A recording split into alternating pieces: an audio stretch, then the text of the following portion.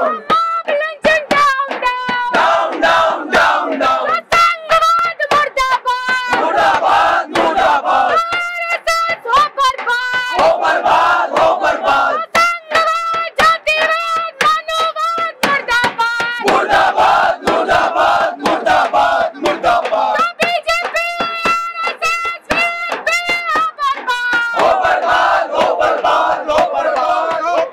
झारखंड में भीड़ ने पीट पीट कर तबरेज अंसारी की हत्या की, ये वीडियो सबने देखा, लेकिन झारखंड पुलिस कह रही है कि तबरेज अंसारी की मौत हार्ट अटैक से हुई। ठीक उसी तरह, जैसे पहलू खान की मॉब लिंचिंग का वीडियो पूरी दुनिया ने देखा, लेकिन निचली अदालत ने कह दिया कि पहलू खान को किसी ने नहीं मारा। तबरेज अंसारी हो या पहलू खान, सबकी हत्याओं को बिल्कुल नॉर्मलाइज करने की कोशिश की जा रही। कि पूरी दुनिया ने देखा कि किस तरह मजलूम ये तबरेज अंसारी को किस तरह सात घंटे तक मारा गया, पीटा गया और उनकी कई हड्डियाँ तक तोड़ दी गई। और फिर पुलिस का रवैया इसमें कितना मशकूक है कि पुलिस कितनी देर से आती है, ले जाती है, यहाँ तक कि उनकी आवाज़ यूएन में उठी।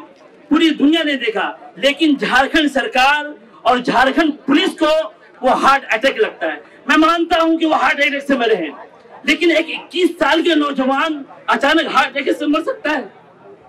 उनको कितना मारा गया होगा? कितना उनको टॉर्चर किया गया होगा कि आखिर वो हार्ट अटैक से मर गए? तो कारण क्या है? हार्ट अटैक से खुद ब खुद मरे हैं या उनको मजबूर किया गया हार्ट अटैक पे?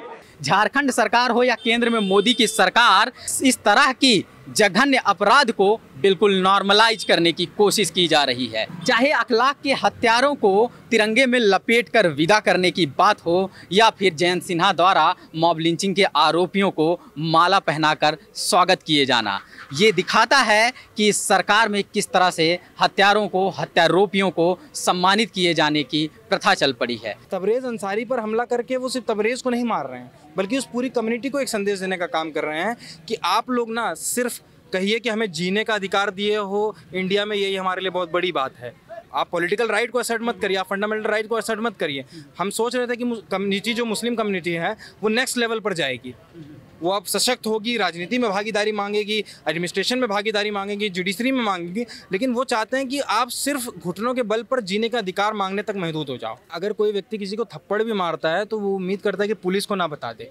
यहाँ सुनियोजित हत्या होती है, उसका वीडियोग्राफी होता है, उसको सोशल मीडिया पर वायरल किया जाता है और आने पर स्वागत होता है, मंत्री जी जाते हैं, माला पहनाते हैं। तो संवैधानिक पद पर व्यक्ति जाकर माला पहनाता है तो यानी कि वो उस पूरे सर्कल के अंदर उस क्राइम को लेजिटिमाइज करने का काम करता है कि अगर आपको पार्टी में बड़ा बनना है, अगर आपको जिला पंचायत का टिकट पाना है, पार्षदी का टिकट पाना है, क्योंकि उससे बड़ी तो उनकी हैसियत है नहीं, गरीब लोग हैं बेचारे। तो आप इस तरीके की हरकतें कीजिए जिससे आपको लेजिटिमाइज आपकी पॉलिटिक्स को लेजिटिमाइज करने का काम करेंगे। ये जो पूरा मॉब लिंचिंग का मामला होता है, ये एक सुपीरियरिटी के प्रिंसिपल पर चलता है कि आज जो मज़बूत है, उसकी मॉब लिंचिंग कर रहा है। आप इस ट्रेंड को नॉर्मलाइज करेंगे तो कल कोई और मज़बूत होगा तो उसकी मॉब लिंचिंग करेगा। शायद अब नेता बनने का, नेतागिरी करने का एक बड़ा प्लेटफॉर्म भी मुहैया हो जा रहा है। गौरक्षा के नाम पर मॉब लिंचिंग के ज़रिए किसी भी अपराध का आरोप लगाकर किसी को मार देने के ज़रिए। क्योंकि भाजपा नेताओं और भाजपा के बड़े नेताओं द्वारा तभी ध्यान दिया जाता है जब हत्या का आरोप बड़ा हो मॉब लिंचिंग जैसा। पहले दिन से ये कोशिश की थी, की गई थी कि तबरेज के कातिलों को बचाया जाएगा। और मैं तो कहूँगा कि ये तब, जितने भी कातिल हैं, जितने भी सारे लोग हैं, ये इस कोशिश में लगे हुए हैं कि कहीं उनको मौका मिले, वो किसी की लिंचिंग करे और वो नेता बन जाए।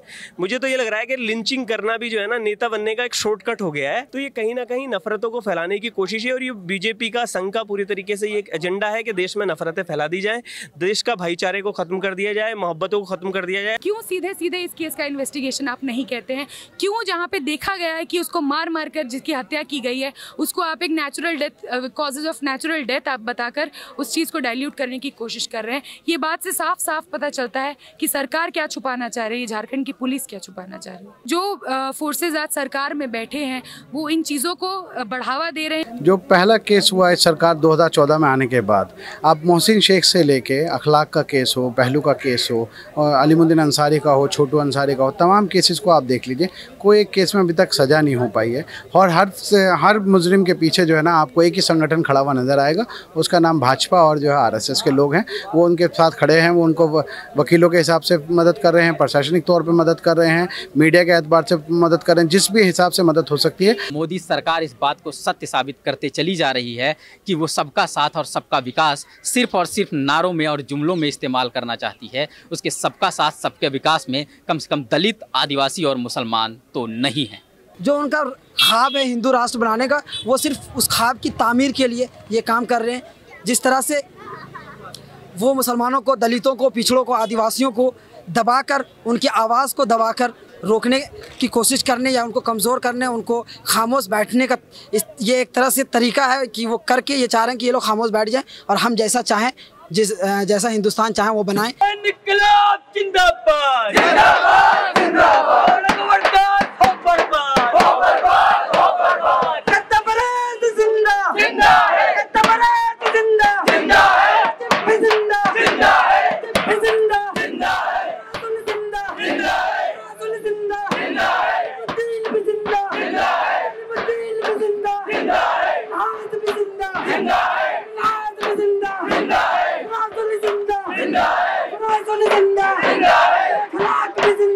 Hallelujah